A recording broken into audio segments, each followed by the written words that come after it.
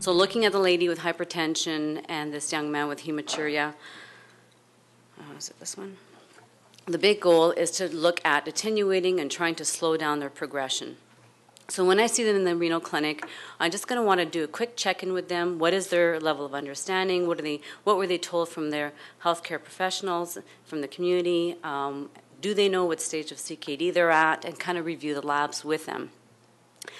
Uh, we're going to want to, number one, target their blood pressures. We want uh, blood pressure, as Paul mentioned, less than 130 over 80.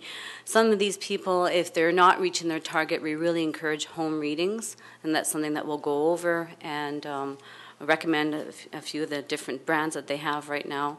Some amazing ones, especially if someone also has atrial fib, irregular heart rates. There's some really good machines out there for them and to bring in some of their readings at the following clinic or when they're getting follow up with their family doctor. For someone who has diabetes, we know that blood sugar control is very important. That's not the case for these two patients, but uh, we'd like an A1C less than 7% as going by the CDA guidelines. The other important issue for them is to identify and look at uh, implementing some of the cardiovascular risk um, uh, strategies. So looking at, you know, are they smokers? Is there a way that we can do uh, smoking cessation, exercise? Uh, we actually have an exercise program for the Manitoba Renal program. We have fitness coordinators for all stages of CKD, as well as people on dialysis, and also uh, lower salt diet, and that's very, very important. So as Paul mentioned, we don't typically have a dietitian and a pharmacist follow these patients uh, in the clinic, but if there are some patients who are really having problems with their dietary issues, especially with the sodium, for example, then we will consult the dietitian. Um, I'd like to give them examples of some of the nephrotoxic agents that they need to avoid, so we kind of go over the list with them so that we can protect their kidneys longer. And looking at Roz, yes, Roz is a little bit more complicated. So I'm just going to kind of go through some of the uh, things that we do in our renal clinics. Um, typically, uh, we have the interdisciplinary clinic team follow the stage four or five, but there are some of our stage three patients that are progressing more rapidly, so they're included in our, in our interdisciplinary team. So this is where it's very important. And why? Why is that? Is because we want to try and um, reduce hospitalization for these people, get them involved in the care. We want to minimize the complications, and we want to prevent some of those sudden onsets of dialysis. Okay, so they need a lot of education. So when we look at uh, the interdisciplinary clinic, we've actually developed a clinic record, and we're trying. We're looking at standardizing this across Manitoba, and eventually we're getting a, a um, the uh, merit program where it's going to be uh, online. So when you look at this, this is a, a, record that all of the disciplines will be using. So I'm going to focus more on the um, nursing piece. So what do we do as a nurse? So we're looking at um, when we see these patients, we're going to want to do their vital signs, their weight. We're going to look to see, and we always refer back to the last clinic records. Um, Roz, this is her first time in our renal clinic. So there's going to be a lot of information and no doubt very overwhelming for this lady. So we're going to want to look at what is their blood pressures. Obviously, Roz is, is uh, that's the number one issue that we have. There's a lot of education that goes on. I'm going to want to look at uh, the trended blood work as well, so focusing on the creatinine and EGFR. Um, we also provide um, uh, education and vaccinations, for example. So we do all the serology for the hepatitis. Um, we provide uh, pneumovax, and also we do the two-step Mantoux for those who are getting worked up for transplant. As for the education piece, um, we're really going to focus uh, on the anemia and uh, fluid management for this lady. I'll get into that. But we also want to identify some of the um, uremic symptoms. So we have a checkbox, and I don't know if you could see it there. Uh, we'll look at some of the uremic symptoms. Now, Roz is already displaying some of these, but they could be from other issues as well. So that's what we kind of have to sort out. Uh, some of the uremic symptoms that we typically will see will be the nausea, vomiting, uh, fatigue, where they want to sleep all the time, the, the restless legs. Um, they have a lot of problems with the generalized itch because of the minerals are unbalanced. And uh, also, they can have a lot of problems with the shortness of breath because of the fluid retention. So, getting back to Roz, what's her priority? You know, this is overwhelming, like I said. She's already appro- approaching end stage kidney disease. We're not going to be able to address everything at this one clinic visit. Typically, we've got about 15 minutes per discipline so that we can keep the flow of the clinic going. So there's going to be a lot more education going on between the clinic visits with Roz, okay? But I'm going to want to look at what is, uh, do another check-in. What is her past experience? What does she know? Does she know that she's at this stage of kidney disease? What does she know about dialysis? And uh, so, what's her CKD knowledge, and how does she learn best? You know, and you're also looking at assessing their readiness to learn too. Where are they at? So for her, I think the number one priority is we need to get that blood pressure under control. Know, Paul talked about the cardiovascular risks for these patients, and we really need to get that uh, blood pressure under control, looking at the fluid balance, so um, I would strongly encourage the home blood pressure readings. Is she able to do that, or does she have a family member that can help her? Does she need home care support for this? Uh, there's going to be a lot of uh, check-ins as well in between clinic visits. She may even come in to see the nurse to do uh, so that we could do an assessment on her fluid balance and see where her blood pressures are at. Okay, and she'll be seeing the rest of the team too for, for that for that aspect. So her hemoglobin is 82, and she's also iron deficient. Um, she's going to be seeing the pharmacist, to, and they'll be making recommendations. But um, chances are this lady will be uh, ordered IV iron and also probably uh, EPREX, erythropoietin therapy.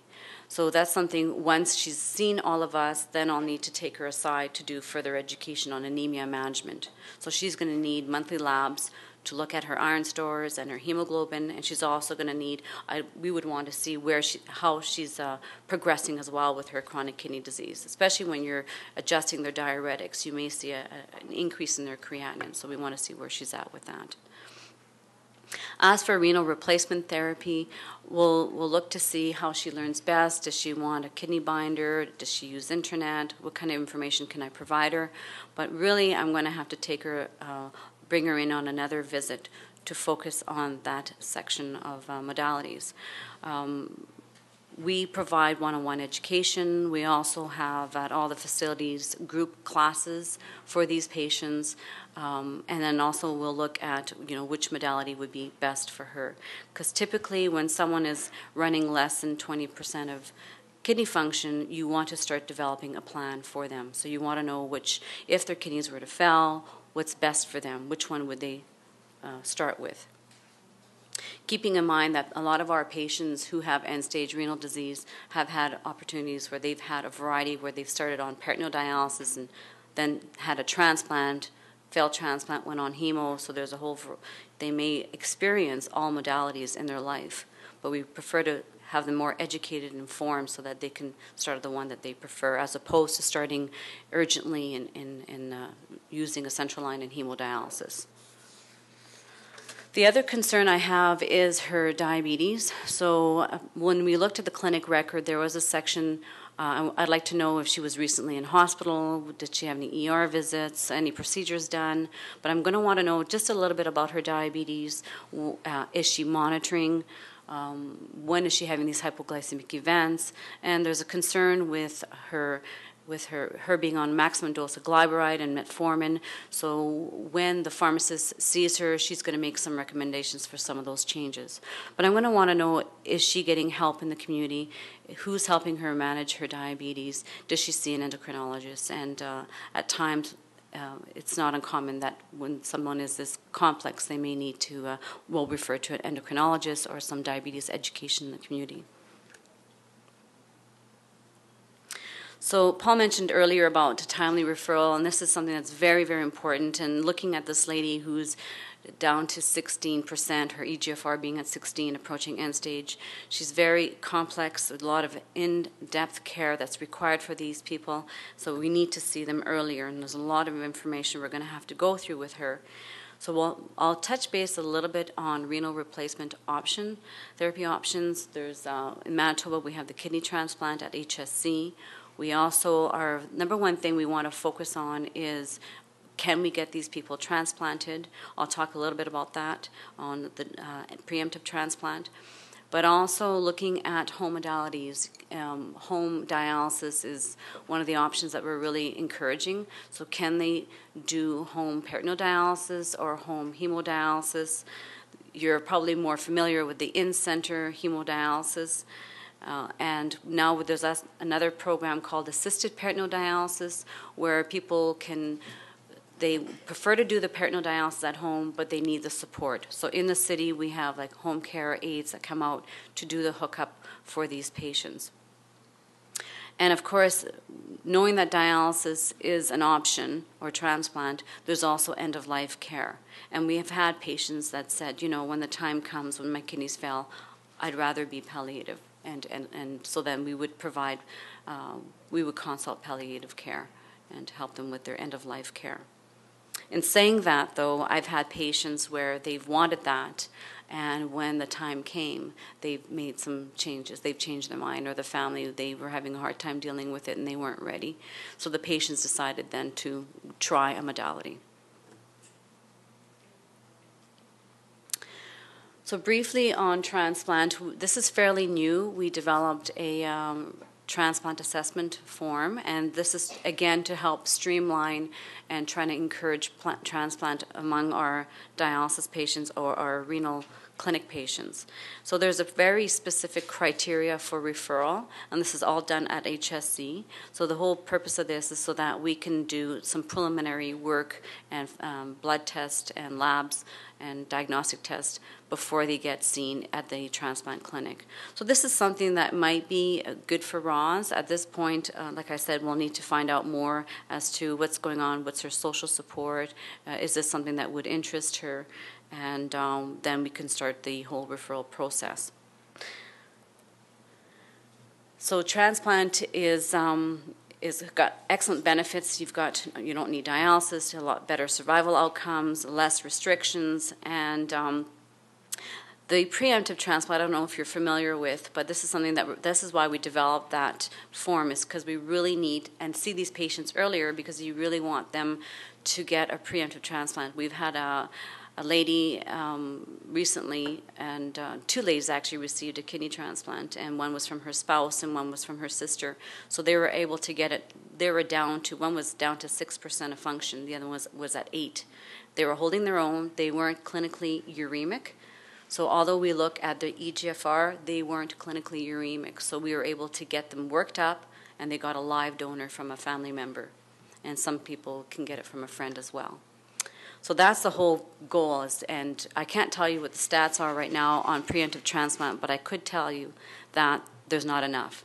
So we really need to do our work, and we got to get these people prepared and seen sooner so that we can get them to avoid dialysis, which would be nice.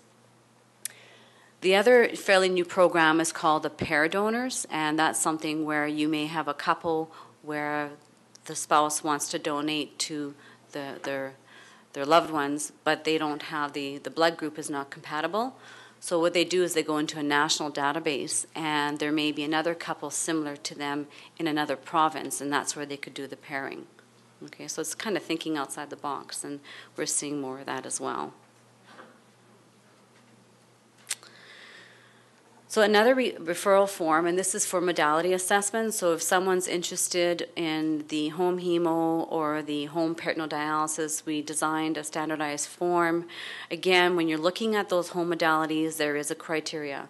So and there's also certain things can be a contraindicated for these patients. So we kind of have to have a review to look at their suitability, um, if they're if this is something that's good for them. Here's Roz. I'm trying to visualize her with peritoneal dialysis. So this is the, the twin bag, the CAPD that she's attached to. Um, it's a fairly easy dialysis. The training is about a week long. My one concern for Roz is that I need to know more her social support. She's a young lady, she's 60 years old. And I could say young, eh? Yeah, okay, good. Years ago, I may not have said that, but grandma, yeah. So but what's interesting with Roz is that she is having problems with retinopathy. So I'm going to want to know to what extreme is her retinopathy. You know, can she, does she have the dexterity for the connection? Can she can she read some um, writing material, um, has she had laser surgeries, where is she at with all that? Because it's relatively easy, and especially for our population who live out of town or in the northern communities, this is a great option for them so they don't have to relocate a lot less uh, dietary and fluid restrictions and less cardiovascular stress because it's a daily dialysis, so it's more of a gentler process. And the beauty of it is that you don't need vascular access, so it actually preserves their veins longer. And the residual renal function that they are still making urine is very, it's like gold, so that, that helps out as well too. So this is offered at St. Boniface, St. Boniface and at Seven Oaks. Um, most of our patients will go on the night machine, the night cycler, so it frees up their day. So this is something that um, I think would be an option for Roz. Um, she's not, she doesn't have a lot of adhesions. She doesn't have any problems with uh, diverticulitis or other um, bowel conditions, so uh, Crohn's, for example. So that's something that we would want her worked up, where she can get a formal assessment with uh, either St. Boniface or at Seven Oaks. As for home hemo, that's actually a picture of a patient that was being trained over at, at HSC. You only see part of his leg. So, anyways, uh, that's one of the home hemo machines that we currently use. And home hemo again has wonderful benefits. These these people have a lot greater independence and flexible schedules. They could do short daily dialysis or um, nocturnal hemodialysis that Paul's involved with and uh, the benefits are, are amazing. Their health outcomes are great. They have less medications and diet issues. If anything, uh, we've even had to add phosphate to their bath, which is like unheard of for a dialysis patient. Um, these, it, it is, you have to be quite motivated to do this, and so your self care, um, you can't expect your spouse to do it, it has to come from the patient and the the training session is more intense. There's a two month training session, about eight weeks, say two months training session, and also. Um, We've, we've had this not only in the city, we've actually have a, a person up north who's on the home hemodialysis, so it's something that's becoming more recognized. And they, of course, anyone for the hemodialysis would need a vascular access. So again, considering Roz, if she's interested in home hemo or in center dialysis, she's going to need referral to the vascular team, to the vascular nurse and surgeon to look at her vessels. And she does have cardiovascular uh, history and also diabetes, and so hopefully her vessels are not too small because then that makes it more of a challenge to get a fistula in these people. So you need more time. You got to refer them. They have to have. They may need diagnostic tests before they actually have the surgery, and that has to also develop once they have the fistula. So again, that's why we need to see them sooner. So I'm um, just going to wrap up here. Um, what I just want to say is thinking of your patient population, the people that you follow, uh, knowing the risk factors for CKD, the, the take home messages what is their blood pressure? Are they within target? Uh, are they spilling proteins in the urine? So looking to see the albumin creatinine ratio, pro- protein creatinine ratio and also looking at their labs. What is their creatinine and estimating their EGFR. We do have a booth out here, and we do have a, a computer laptop where we have the uh, pathways online. So if you're interested in coming to have a peek at the pathways, we'll be there at lunch and then the break this afternoon. So thank you. I'm going to pass you now.